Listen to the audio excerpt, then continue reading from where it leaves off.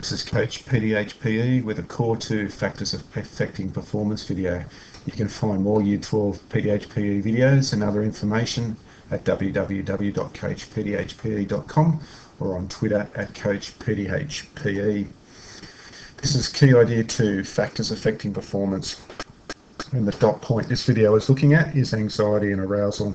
There'll be three dash points that I'll address which will then hopefully put you in a position to answer the student learn to side of the syllabus.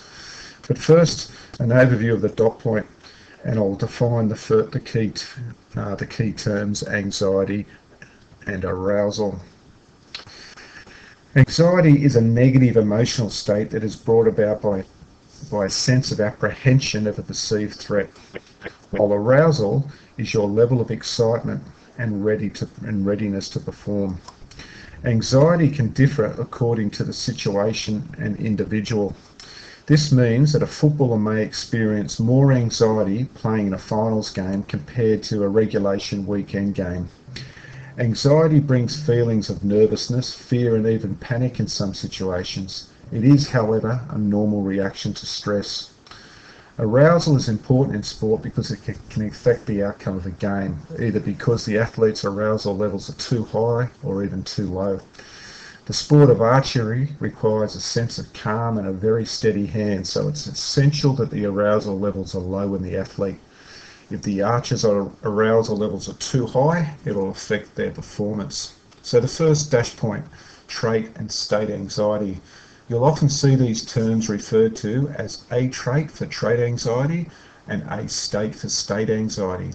A trait anxiety refers to the general level of stress that is a characteristic of an individual's personality, while A state anxiety is the temporary feelings of tension and nervousness related to a specific point in time, often found at the beginning of a game.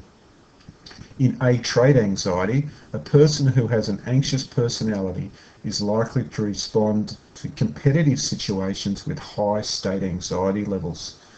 For example, a cricketer may experience higher levels of state anxiety as they walk out to bat and face their first ball in Test cricket in front of a large crowd.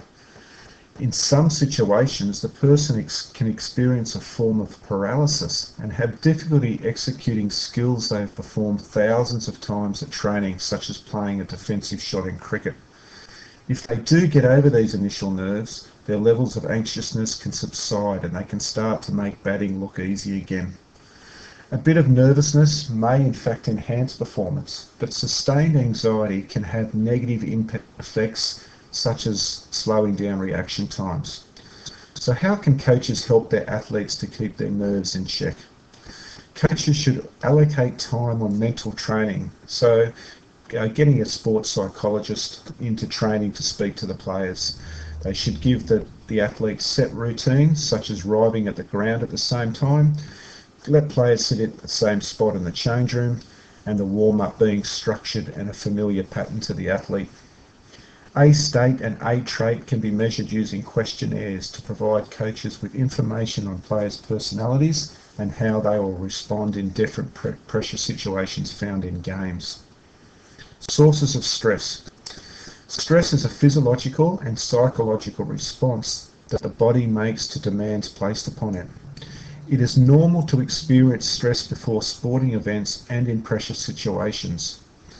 If not controlled, it contributes to anxiety and reduced performance, and therefore, stress is very closely linked to state anxiety. Stress can come from internal or external sources and might or might not be under the direct control of the performer. Internal stress examples can in include that sorry, internal stress examples include fear of failure, the stress the athlete sorry the athlete has control over fear of failure and injury which the athlete has little or no control over. External stress examples include sledging from the opposition hostile crowd and a relentless media ch- chasing a story. Athletes can use the following methods to cope with sports related stress. Focusing concentration, mental rehearsal, breathing and relaxation techniques, developing routines which Rafael Nadal is famous for, such as bouncing the ball a set number of times before he serves and fiddling with his clothing. Stress can be classified as either good stress, which is known as eustress, or bad stress, which is known as distress. Most of you have an understanding of what distress is, but eustress is when change, sorry, when stress can be a positive. For example, the stress of a football player needing a new contract results in them playing better football under that pressure. Optimal arousal. I said earlier that arousal is the level of excitement and readiness to perform, while optimal arousal is getting that excitement levels to the right point so that you can perform at your best. This is known as optimal arousal. In this graph we can see, uh, sorry, in the graph we can see that as arousal increases so does performance up to a point. Beyond this point, increased arousal levels result in a drop in performance. The point at the top of the inverted U shape is referred to as optimal arousal. Optimal arousal does not mean maximal arousal as you can see on this graph. Both over arousal and under arousal can contribute to poor performance. Getting arousal levels correct are the key for success in sport, but different sports require different levels of arousal for optimal performance. The athlete in golf requires different levels of arousal to the athlete in weightlifting.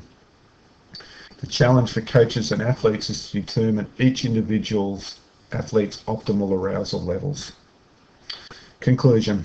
Coaches have an, coaches should have an understanding of their players' anxiety, stress and arousal levels as it will assist the team in preparing for optimal performance.